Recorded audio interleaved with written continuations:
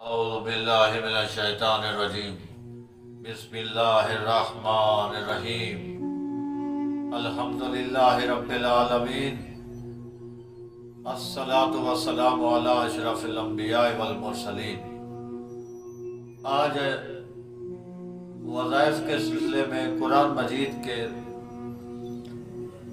بتائے جا رہے ہیں وہ وظائف اور ہر مشکل کے لیے ہر حاجت کے لیے، عزت و وقار کے لیے بتائے جا رہے ہیں۔ آپ ان کو پورا کریں، عمل کریں، ان پر ان وظائف کو کریں، یقیناً اللہ تعالیٰ آپ کی ہر حاجت کو پورا کرے گا۔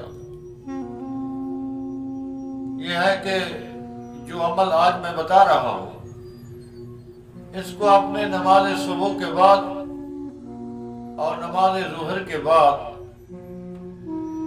یہ تین سو بہتر مرتبہ پڑھنا ہے اور روزانہ پڑھنا ہے۔ جتنے بھی مشکل کام ہوگا، مشکل حاجت ہوگی، اور آپ کی عزت و توقیر میں اضافہ ہوگا۔ وہ ہے اس پہ گرامی یا عزیزو ازرنی فی آیون الناس۔ دوبارہ بتا رہا ہوں۔ یا عزیزو ازرنی فی آیون الناس۔